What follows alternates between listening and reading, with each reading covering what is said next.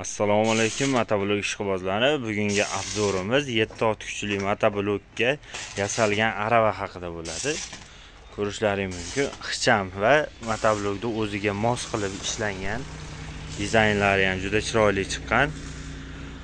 Aravamiz to'lig'i eni 80 bo'ladi. Uzunasiga 120 350 400 kilogacha bo'lgan yuklarni bemalol olib harakatlana oladi.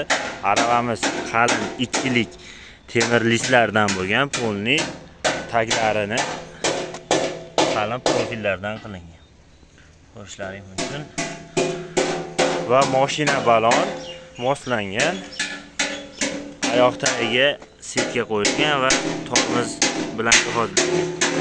Dishlalarini ham ko'rishlaring mumkin. Dishlalari qalin prutlardan yasalgan bemalol uzilib ketmaydi. Chuqurga tushganda ham qiynalmasdan motoblokka ishlay oladi.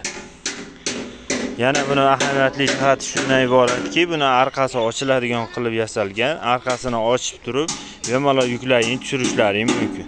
Qulayliklar. Ko'rishlaring mumkin. Motoblokni o'ziga va jasadiga juda mos. Kimga xuddi shu turdagi aravalar yo bundan kattaroq razmerdagi aravalar kerak bo'lsa ekranda nomerlarni qoldiramiz. Aloqaga chiqib bemalol bog'lanib zakaz qilishlaring mumkin. Qo'ldan kelgancha birinchi qo'ldan hammabop ustalardan deb youtube kanalimizga obuna bo'lgan bo'lsalaring albatta skidkasi bilan qilib beriladi.